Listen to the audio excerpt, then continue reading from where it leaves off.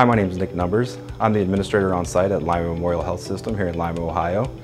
Here at Lima Memorial Health System, we provide quality care in a family atmosphere, and today we invite you to come join our team. We are looking for enthusiastic, excited people who are ready to take care of people. This is a healthcare system that um, surrounds its care based on the needs of our population and the community, and so we, we want people that are excited to do that for us. I think there's a general understanding here at Lima Memorial that these walls are built for more than just a business. They're built to encompass a space of healing.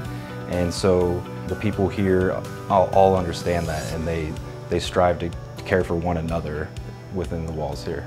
Hi, my name is Jordan Burke and I am currently a nurse extern here at Lima Memorial. After I'm done with my nurse extern position, I will move into an intern role and then once I pass my boards, I will move into a nursing position. I just love the family atmosphere. I love being able to work as a team with everybody on my floor. I love the helpfulness and the openness everybody has and just honestly taking care of patients and making them smile.